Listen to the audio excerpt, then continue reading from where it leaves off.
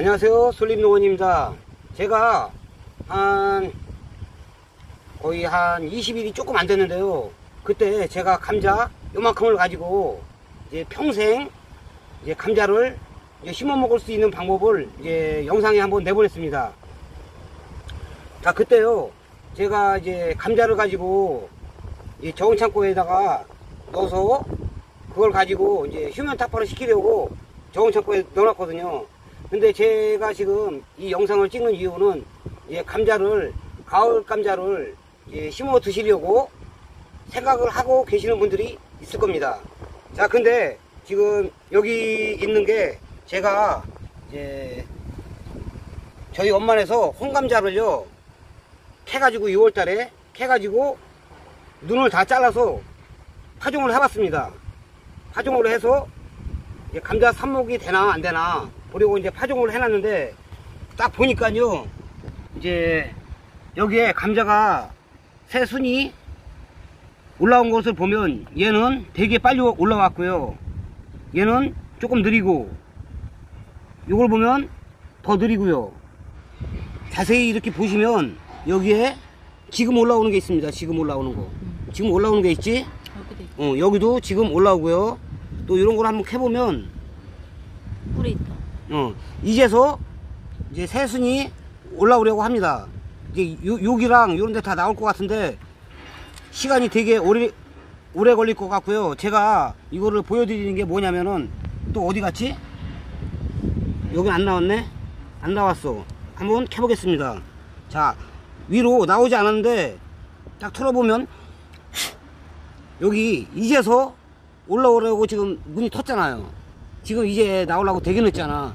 자, 이 이유가 뭐냐면은 휴면 타파, 휴면 타파를 하지 않아서 겨울잠을 재워주지 않아서 이런 현상이 나오는 겁니다. 만약에 가을 감자를 심어 드시려고 생각만 하고 있다가 이제 저온 창고에 넣지 않고 그냥 일반 상문에다 넣었다가 감자 눈을 잘라서 가을에 심게 되잖아요. 분명히 이런 현상이 생길 겁니다. 요거는 뭐 일주일 있다가 올라오고 어떤 감자는 열흘 있다 올라오고 어떤 감자는 20일 있다 올라오고 어떤 감자는 또 되게 늦게 올라옵니다. 자 그렇게 되면 나중에 너무 늦게 새순이 올라오고 이제 뿌리가 뻗고 막 그러는 감자들은 아마 알이 분명히 작을 거예요. 그리고 감자 심은 밭이 들쑥날쑥 어? 단차도 심할 거고 자 다, 당연히 그러지 자기야 안 그래? 응. 어떤 거는 빨리 올라왔고 어떤 거는 어? 겨울 뜬금없이 물어봐. 겨울 다 돼가지고 새순이 올라오면 뭐 했고요? 겨울 전에 캐, 캐야 되는데. 그러니까요 분명히 알이 작을 겁니다. 자 그리고 이 감자는 제가 눈을 다 잘라서 심었는데 어떤 거는 골고 썩었어요. 왜 그러냐면 날이 뜨거우면 뜨거울수록 이제 바이러스 같은 게 이제 극성을 떨 거 아니에요. 어떤 걸 해보니까 어, 얘는 안 썩었는데. 여긴가? 어디 있지? 아 여기 여기 감자가요? 아. 응, 썩었어요. 썩었잖아 이거. 왜 그러겠어? 균 때문에 바이러스 먹고 막 그래가지고 이렇게 썩고 골고 그러는 게 나오는데 얘 감자도 되도록이면 살균 처리를 해서 이제 심어야 되는 게 맞습니다. 자 그리고 아 제가 그래서 예, 만약에 가을 감자를 이제 심고 싶은 분이 계시다. 어? 진짜 그만큼은 그러다가 평생 감자를 드시고 싶다 하시는 분들은 이제 저희 같은 경우에는 저온 창고가 있어서 저온 창고에 넣어놨는데요. 이제 저온 창고가 없고 이제 조금만 심어서 드시겠다 하시는 분들은 이제 일반 냉장고에 그러니까 이제 휴면 타파가 영상 5도 5도 밑으로 잠을 영상 5도 밑으로 해서 이제 저장을 하게 되면 이제 감자든 블루베리 나무든 모든 게 이제 다 겨울잠을 자기 시작합니다. 자 그러니까요 아직 냉장고에 넣지 않으신 분들은 이제 냉장실에 넣었다가 가을 감자를 심으시면 되고요. 이 휴면 타파 기간은 겨울잠을 재워주는 기간은요 다 틀려요 사람마다 막 일주일에서 어, 열흘이면 된다. 또 어떤 사람은 뭐 90일에서 100일은 해줘야 된다. 이제 어떤 사람은 뭐 20일에서 한 달이면 충분히 한다 라는 말이 있는데요 그냥 감자를 뽀개서 어, 냉장고에다가 저- 잠을 재우지 않고 뽀개서 심는 것보다는 일주일 뭐 열흘 20일 정도 그 정도만 재워도 어느 정도 잠을 자기 때문에 그냥 잠을 재우지 않고 노지에 파종을 하는 것보다는 훨씬 효과가 안 해준 것보다는 나을 겁니다. 자 그러면 저희가 진짜 감자를 좋은 창고에 넣나 안 넣나 한번 가보겠습니다. 자 한번 잔지 찍는 거야? 자 아우 추워 어우 시원하다 와 춥다 추워. 아. 여보 아. 추워. 빨리 찍고 나갈 거야. 자 여기가요 감자가 예, 10kg짜리 두 박스가 있는데 저희 아는 형님네서 사온 겁니다 저희가 여기 저온창고에 갖다 놓은 지 한 열흘 좀 넘었나 봐?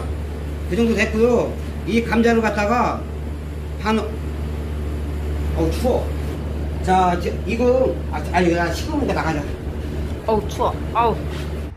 자 지금 이제 저온창고에서 나왔는데요 제가 게을러서 여기가 한 700평 되는데 여기는 아무것도 심지 못했는데요 아우 미치겠어 아 몸은 하나인데 이거 다 하려니 어떻게 해 아우 풀자란 거봐 게을러서 죄송합니다 자 이쪽에는 이제 가을에 배추도 한번 심어보고 어? 엄마 김장해 드시라고 무슨 엄마 김장해 드시라고요. 저 김장 해 먹으려고요. 무도 한번 심어보고 남은 곳에는 가을 감자를 심을 겁니다. 가을 감자를 이제 어떻게 심을 거냐면 한쪽은 이제 직파를 하고 한쪽은 이제 삽목을 해서 새순을 딱 띄어가지고 삽목을 한 걸 가지고 심어볼 겁니다.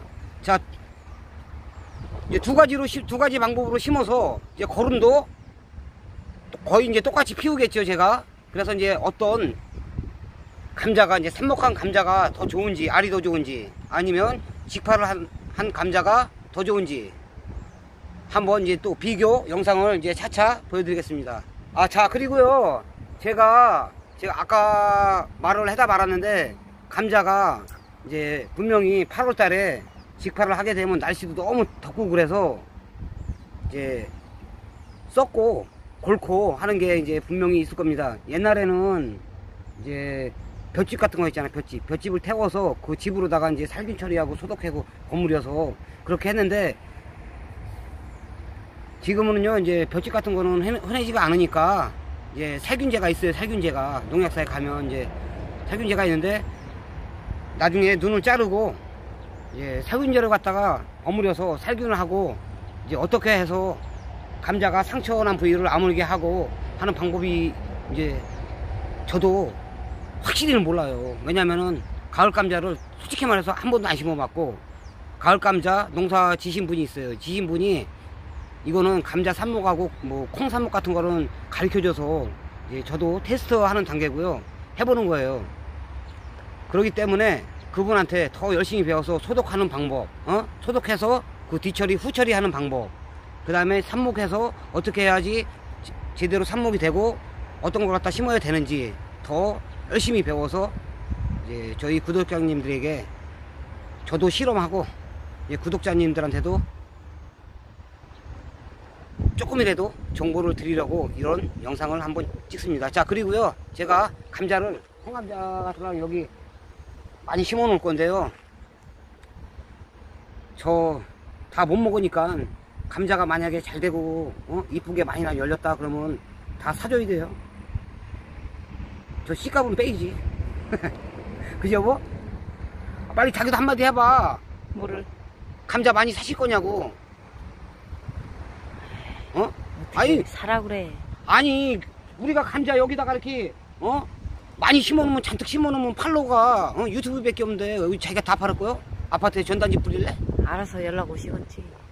아, 자 그러면은요 저기다 여기다 감자 잔뜩 심어놓으면 많이 아니 그냥 열심히 심어 볼게요. 자 그러니까요 이제 감자를 삽목한 감자랑 직파를 한 감자가 과연 알 굵기가 많이 차이 나고 수확량이 어떻게 차이가 나는지 궁금하신 분들은 구독과 좋아요 눌러주시고요. 아 오늘도 바람은 불지만 여름은 여름이에요. 날씨가 되게 더우니까요. 괜히 날 더운데 뭐 저기 바닷가에 가서 이렇게 물 담그고 뭐, 뭐 살이 까졌네 뭐 해파리가 모르네 그러지 마시고 얼른 집에 들어가셔. 유튜브 보라고? 얼른 집에 들어가셔갖고 뭐 말 안 해도 알지 유튜브나 보세요 이제 남은 휴일 이제 얼마 남지 않았는데 시간 얼른 집에 들어가셔서 이제 에어컨 바람 싹 쐬면서 이제 편안하게 누워서 그만 좀 혀. 아그 말 말고 이제 에어컨 바람 딱 쐬고 이제 샤워 딱 하고 누워서 남은 휴일 시간 이제 좋은 시간 되시기 바랍니다. 자 그럼 이만